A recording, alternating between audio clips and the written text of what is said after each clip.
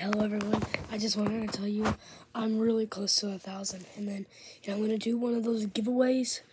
I could do, um, and if it's a tie when I hit a thousand, I'm gonna either do an ice bath.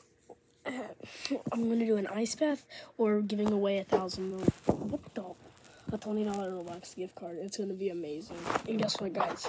For and when I get to a thousand. I'm gonna play Doors with fans in a private server.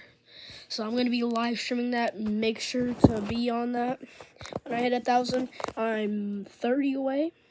Um, and just to let you know, guys, make sure to like and subscribe. If you want that Doors live stream with fans, then um, then yeah, just get on. And then when I get a thousand, make sure to vote in my community section for um, for a twenty dollar Roblox gift card, twenty dollar Roblox gift card, or an ice bath.